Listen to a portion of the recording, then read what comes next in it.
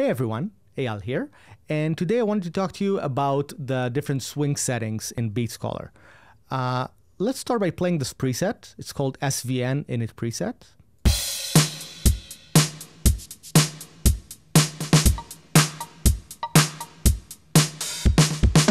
Okay, it's rather straight, and we want to add some swing to it. So the obvious way is to just move the swing slider. So for example, if I add something, you know, like, uh, I don't know, 50% swing or something,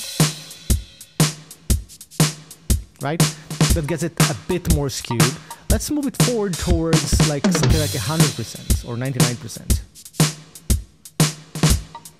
Right, that moves even more forward. And we can go even higher to something like 150% and even 200%. Right? And we also have uh, what we call a negative swing, which will skew the time backwards.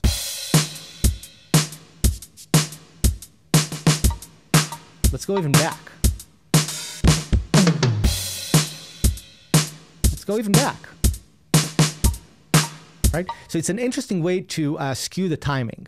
Uh, as always with all of our sliders, you can alt click, alt or option click to uh, put the swing back in the center. And you can also double click to input a precise number like 52%. So this is one way of working with swing, but we also have a lot of swing references. What it means is that swing is calculated based on a specific uh, time length. So for example, the default setting is a quarter note. And I'm just right clicking the swing area to hit uh, to get this uh, menu. And quarter note means that the quarter notes will stay steady, but then the, the beats will move or shift or swing according to your swing setting.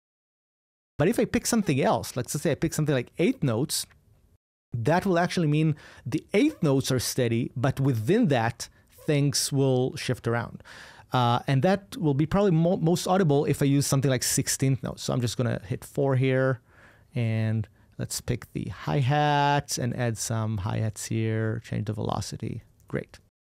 Let's copy this across the board everywhere and let's hear this. Right, these are 16 notes. Let's make this slower. Okay, now I'm going to swing uh, slightly more forward. Let's go even deeper.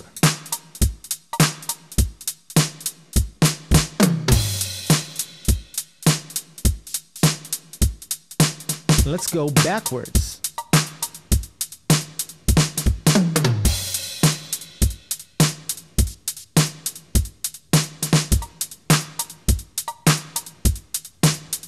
Right, so this is an, another uh, way to look at this.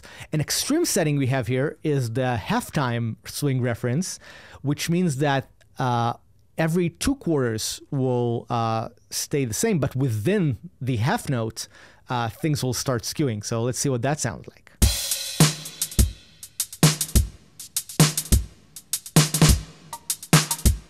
Really extreme. Let's take it a bit lower.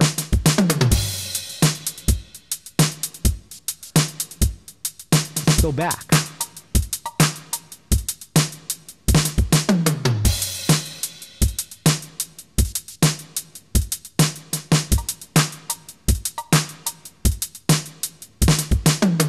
So uh, we, we really like that setting and try messing with it with the factory presets, with your own presets. It's a lot of fun. Uh, hope you found that useful.